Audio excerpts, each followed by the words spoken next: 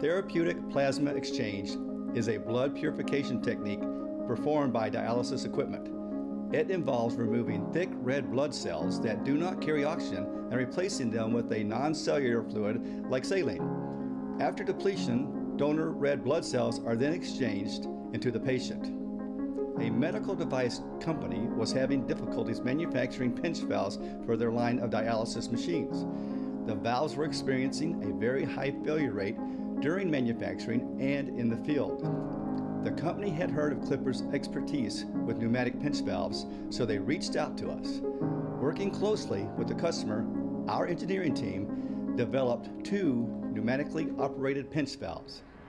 One normally opened and one normally closed. We designed the two valves to work in parallel prior to the saline and plasma feed. We incorporated special sensors to determine if the valves had switched and utilized a special nickel plating to help protect the valves from discoloring over time due to aggressive cleaning fluids.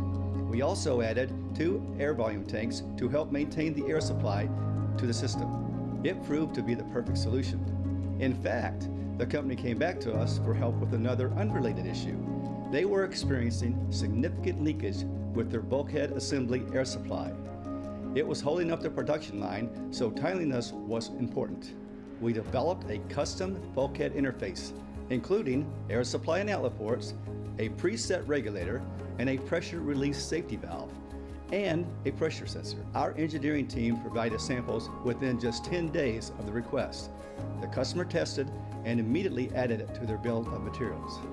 Clippard has the expertise and value added solutions to meet your application needs. If you need assistance, please give us a call.